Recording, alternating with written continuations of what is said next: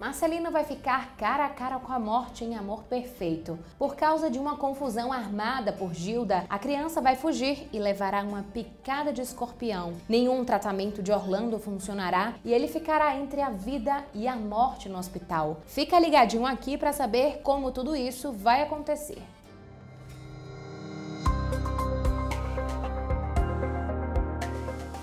Maré sofrerá um novo golpe de Gilda. A vilã denunciará a Irmandade para um bispo que terá um piripaque ao descobrir que uma mulher está morando com os padres. A protagonista então será expulsa do local. Marcelino ficará completamente desolado com a situação e sairá andando pelo matagal. Distraído, ele não perceberá a aproximação do bicho e muito menos a picada. Quando se der conta, já estará estatelado no chão, coitadinho. Algumas pessoas passarão pelo local e encontrarão pequeno. Ele será levado até o hospital em estado muito grave. Todos ficarão aflitos com a situação do garoto e rezarão dia e noite para sua recuperação. Maré nem sequer vai querer deixar o hospital. E mesmo com as rezas e dedicação de Orlando e outros médicos, nada vai parecer ajudar. Será aí que Jesus surgirá no leito do menino e pedirá que ele tenha força e que não tema o futuro, pois há quem o ame no mundo. Um amor forte e potente no qual o pequeno deve se apegar para sair daquela situação. Depois disso, ele passará a reagir aos medicamentos administrados pelo ortopedista e conseguirá sobreviver. Será a segunda vez que a divindade salva a criança da morte. Ele apareceu timidamente nos primeiros capítulos, quando tirou a criança de um cesto no lago e a levou até a Irmandade dos Clérigos de São Jacinto. Agora, porém, o menino terá lembranças vívidas do sonho e vai impressionar os padres ao relatar o que viu.